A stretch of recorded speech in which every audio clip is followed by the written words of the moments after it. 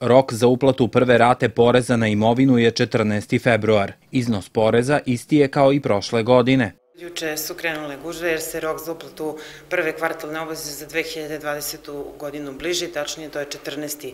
februar. E, obveznici plaćaju visinu kvartalne obaveze utvrđenu po prošlogodišnjem rešenju, po zadnjem kvartalu za ovu godinu.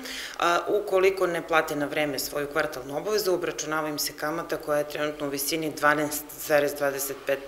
Moram da napomenem i da apelujem na naše obveznike, građane, e, da ne vrše uplate na ime pokojnih lica, pošto prave velikih problema, tu dolazi kasnije do preknjižavanja, već da, e, ukoliko imaju takav slučaj, dođu naslednici i donesu ostavinska rešenja kako bi izvršili promenu znači, vlasništva i raščistili dugove sa nama.